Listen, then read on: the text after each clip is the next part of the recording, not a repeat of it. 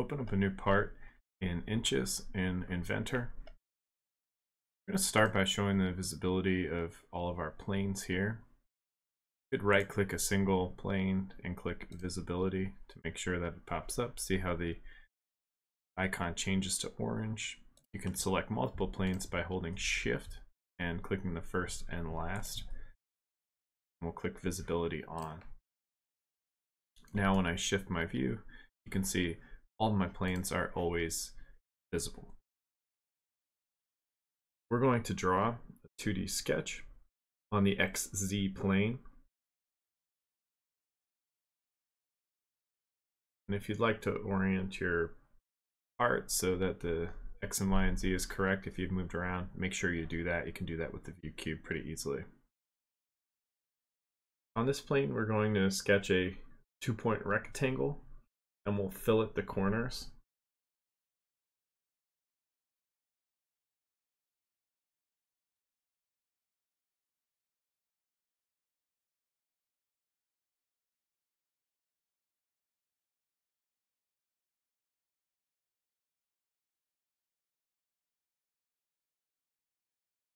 The fillet is going to be a quarter inch. So we can double click and change our dimension here. The length of our part is going to be three inches.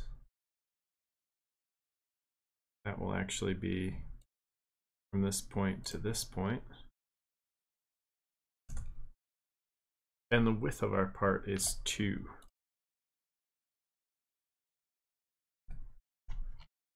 that looks like it fully defines. I'm going to take this dimension here and make sure it's this dimension over 2. And I'll do the same with the small dimension I made earlier. I'll make sure it's D4 or this dimension over 2.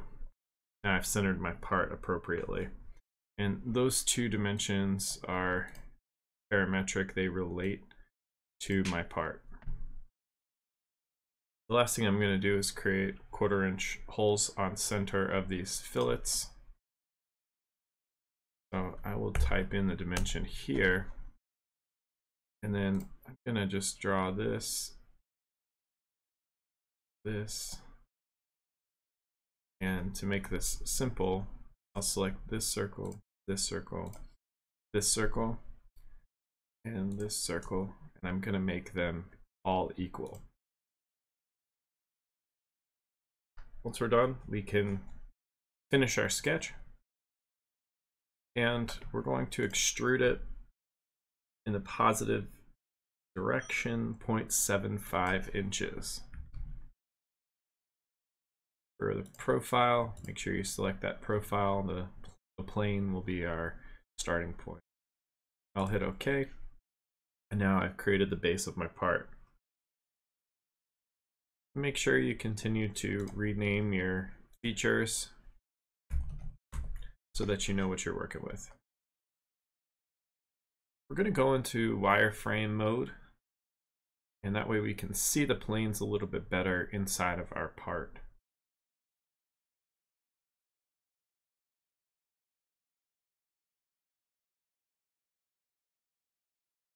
So now my planes are visible we're going to take one of the planes and orient it at an angle. So we'll look at turning the XY plane at 30 and creating a new plane from there.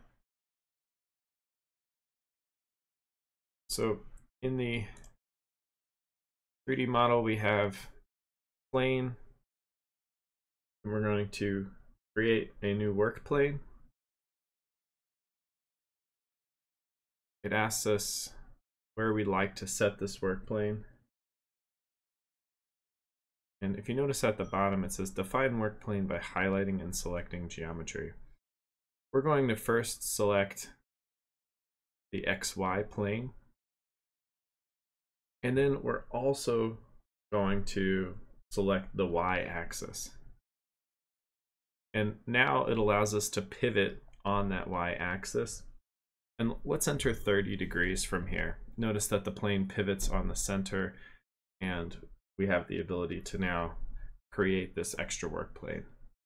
if you look at our browser, our work plane is now visible. I'm going to rename this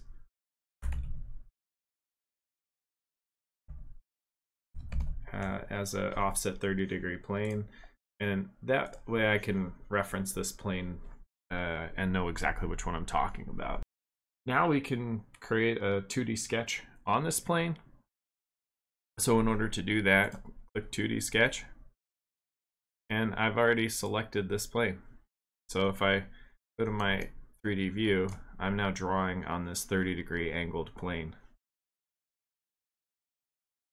In order to come back to that exact angle, you can just look at, we're gonna look at the origin axis and when we go to the sketch mode, we can roll over to the view tab and where it says object visibility, we're going to turn off origin axis.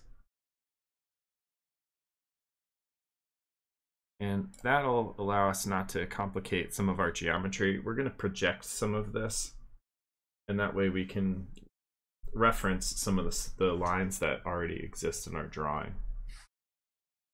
Go back to the Sketch tab, and we'll click Project Geometry. And we want to project this entire back line here.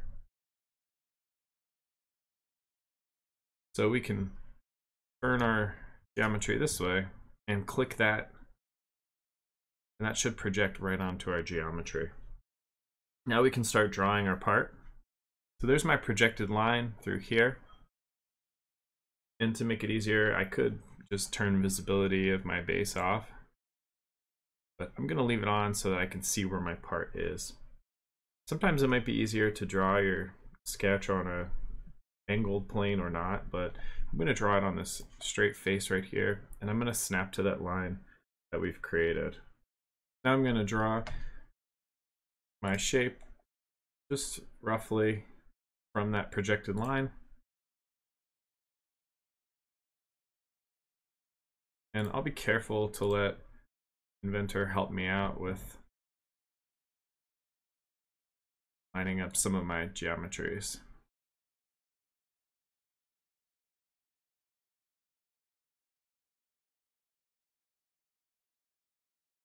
I'll start dimensioning my part. And just be careful. Take your time as you work through.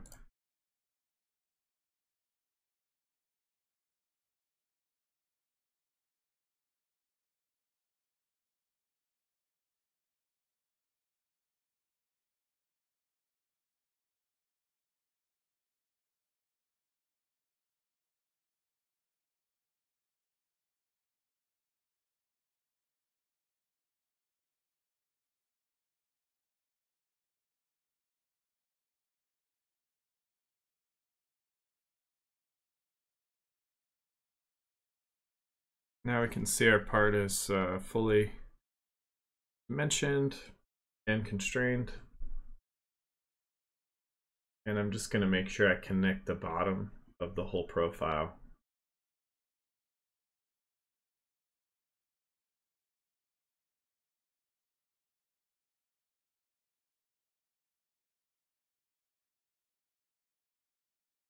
We'll use a center point arc to make the top curve in order to place the arc, we're going to need to trim this top line. So you can click the line and hit delete. Now you can place your center point arc.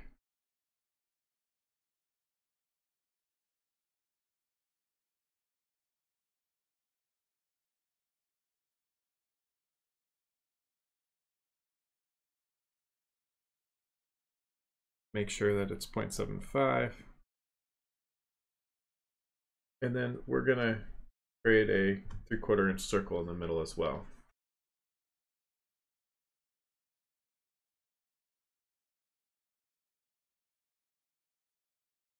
That should complete the geometry for this sketch. Fairly tricky sketch. Now we can extrude and we're going to symmetrically extrude this one inch and make sure you select the pieces that you're looking for. And you can rotate your part to make sure it looks centered on that base. When everything looks aligned, hit the check mark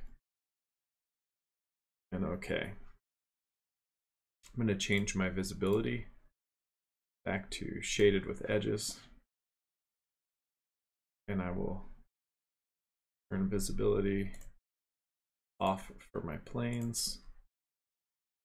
You can see the basis for this part. I'll rename my extrusion. We're going to create an offset plane.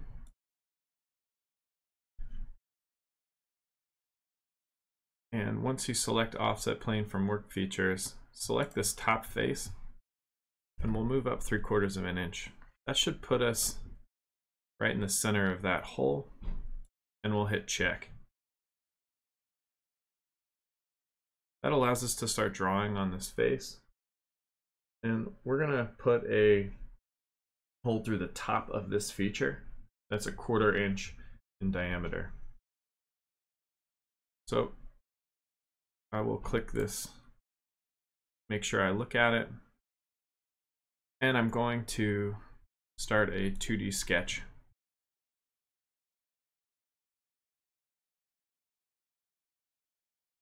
if I don't like seeing this part here, again, just change to wireframe. I know that everything is centered on my origin, so this should make it relatively easy to draw a quarter inch circle. I will extrude this sketch all the way through my part and make sure it cuts through the top. I'll cut and I'll say through all and if it's going in the wrong direction, you should be able to just flip the direction. And now I'll hit OK. Go back to my view, visual style. I'll do shaded. And you can see the part is now complete. I'll rename this offset work plane. And I will rename this as set screw hole. Again, you can right click, turn off visibility, and this part is now complete. Don't forget to save.